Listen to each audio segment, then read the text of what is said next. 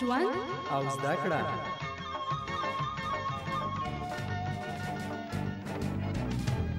روغتیا او ژوند درنو اوریدونکو السلام علیکم داسې ماشومان مو لیدلی چې په شری ناروغي اخته وي خوله یې له ستوني پورې غونډه همداسې ده لکه جوش اوبه څه پکې واچوي پرون بېګا سبا ټول ورته ناست وو مونږ له ذوالقدن حالات کې د. په ماشومانو کې د شری نښې، ستونزې او علتونه کوم دي؟ په دې ناروغۍ د اخته ماشومانو څه ډول څارنه او پالنه وکړو؟ او د دې ناروغۍ له سرایته د مخنیوي لارې چارې کومې دي؟ زه سمیرا حلیمزه یم او تاسو د روغتیا او ژوند خپرونه اورئ.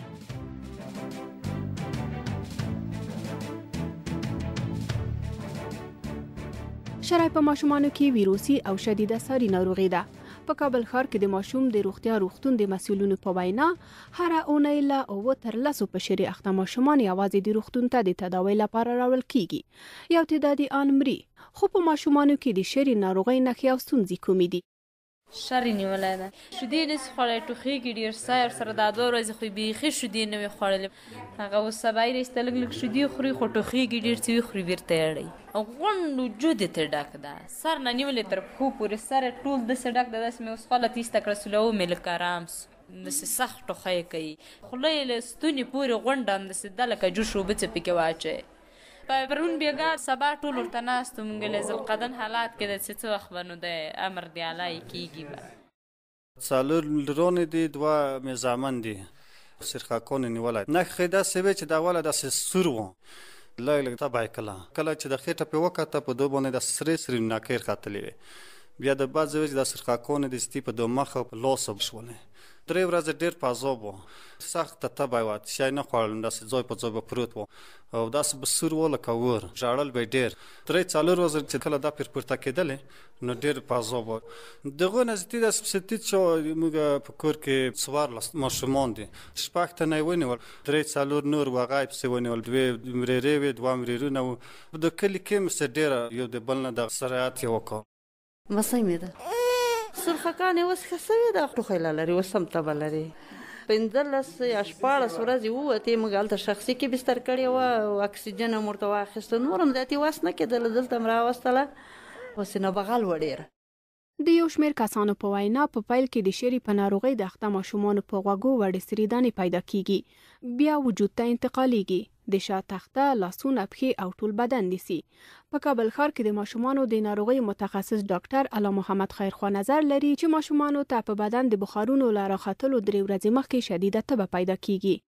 په ماشومانو کې خور شیره ډېرې بردسته نښې لري چې اول مخکې له دې چې په ماشومان باندې کوم هغه بخار یا سرې دانې راوخیژي، ماشوم یو تر درې ورځې پورې ډېرې شدیدې تبې کوي، وروسته له هغه نه دغه سره دانې یا بخار پرې راخیژي چې له مخ له خوا، له غاړې خوا، له سترګو له خوا نه شروع کوي او آهسته آهسته لاندې بدن ته راځي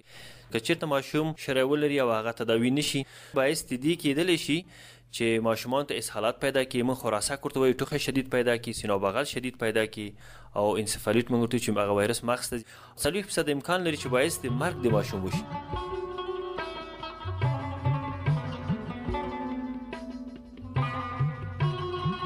که چیرې د اخته ماشومانو سمه ساتنه او پالنه ونه کړو نو بدن یې کمزوری کیږي نورې ناروغۍ ورته پیدا کیږي لکه سینه او بغل، خراسک، اسهالات او نور. خو پوښتنه دا ده چې ولې ماشومان په شري ناروغۍ اخته کیږي؟ سر نیولی د دوې شپې تبې کیدلې اوس دانې راپورته شوې دي د سرې واکسین یې پاته ده. دا د واکسین نه ورکول سرخکان ځکه نیسي. پيله د دې مرض نه پوهیږم چې ویروسي ده یعنې انتقالیږي یو بل ته بس دا د ډیر پخوانه ده. یو شمېر کسان په ماشومانو کې د شري د اصلي علتونو په اړه مختلف نظرونه لري. د ډاکټر په باور د دې ناروغۍ اصلي علت ویروس دی، چې له ناروغانو نه روغو ماشومانو ته له مختلفو لارو سرایت کوي. په ماشومانو کې شري خاص یو علت لري، چې هغه مونږ آر این اې وایروس ورته وایو او بایستی مریضي د سرخکن کیږي. دا خو په هوا کې وي یا بل څوک چې مریض وي په هغو سره وي کولی شي چې له هغه طریق نه انتقال شي د خوراک له طریقه یا له جامو له طریقه نه یا له تماس له طریقې نه کولی شي انتقال شي یو بل ته د ناروغ ماشوم ناروغ ماشوم ونیسي.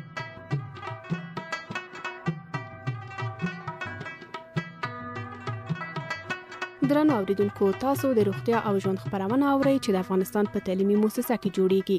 په ماشومانو کې د شری ناروغي اصلي علت ویروس دی دا ویروس په چاپیریال کې وي د خوراک، څښاک او تنفس له لارې په ستوني کې ځای نیسي. که په کور کې یو ماشوم په ناروغۍ اخته شي، نو له شریکو لوښو په یوه کوټه کې له اوسېدو او د تنفس له لارې نور ماشومان هم نیسي. خو په دې ناروغۍ د اخته ماشومانو څه ډول ساتنه او پالنه وکړو او په ماشومانو کې د دې ناروغۍ له سرایته د مخنیوي مهمې لارې چارې کومې دي؟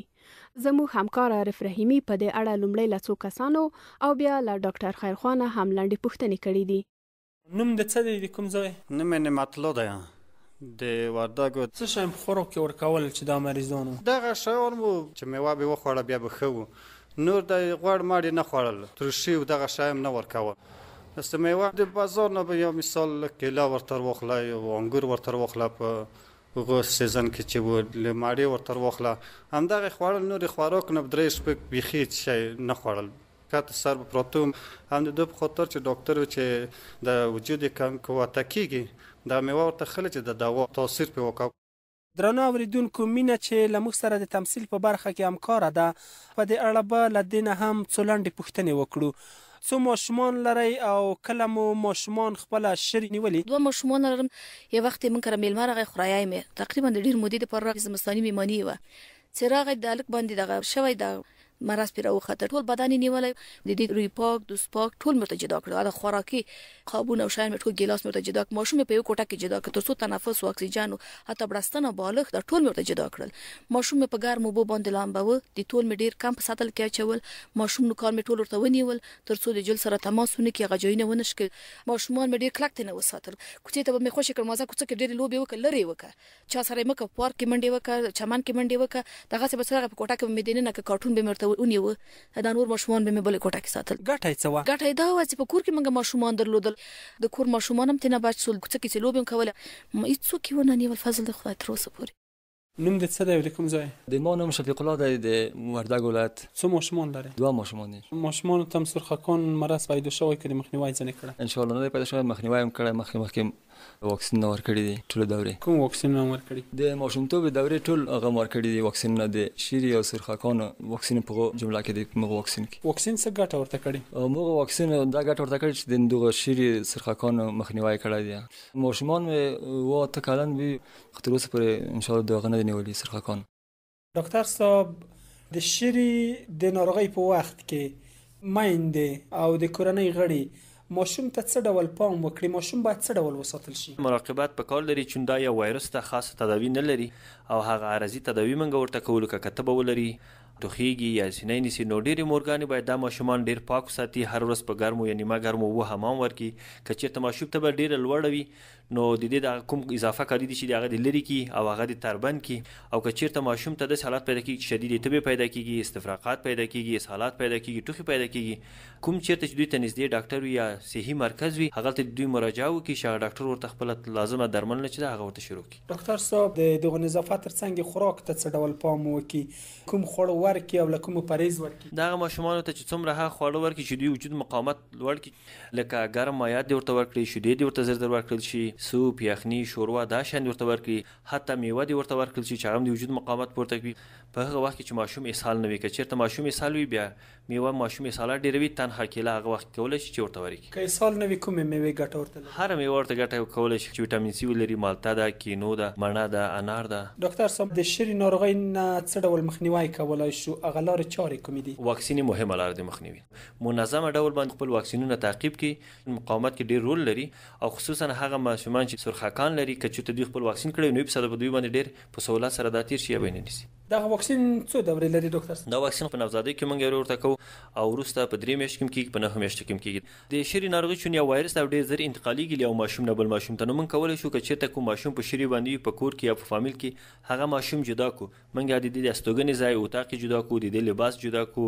او کومه غذا چې ورکوي یا هغه ګیلاس، پیاله هر شی ورته جدا کړو، که چېرته د کالي مونږ مینځو هغه باید جدا پرېمینځل شي په دې باندې چې نور انتقال نه شي وایرس هغو ته او کوم غذا چې خوري له هغه نه باید نور څوک استفاده ونه کړي چون له دې طریقه امکان ولري چې ډېر ورته انتقال شي. د هېڅ ماشوم دې سره لوبې ونه کړي، ټچ هم ونه کړي، که چېرته یوه مور دوه درې ماشومان لري او یو ماشوم یې شری نیولی نو که چیرته نورو ماشومانو مراقبت ته ورځي باید خپل لاس پاک په صابون باندې پریمینځي حتی هغه جامې که مریض سرټچ شوي هغه تبدیلي کړي بیا دې لاړ شي بل ماشوم ته کني انتقالوي یې وساتل شي نور ماشوم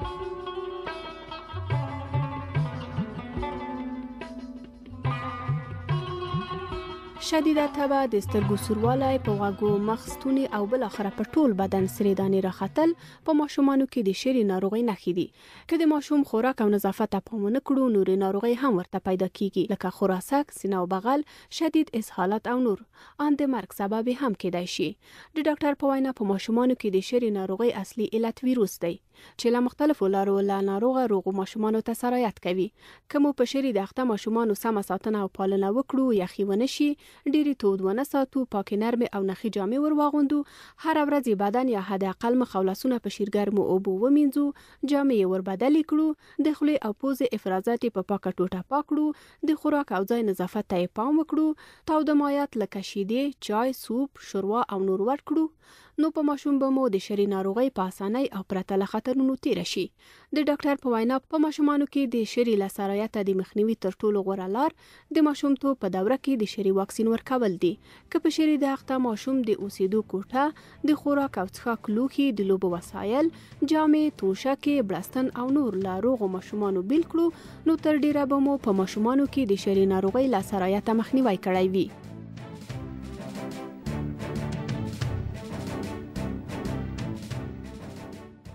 درنو اوریدونکو د روغتیا او ژوند دا خبرونه زموږ همکار محمد عارف رحیمی د افغانستان په تعلیمي موسسه کې جوړه کړې و ریزش یا زکام څه ډول ناروغي ده نخې ستونزې علتونه او د مخنیوي لارې چارې کومې دي د روغتیا او ژوند راتلونکي اونۍ خبرونه هم د پوښتنو ته ځوابونه وایي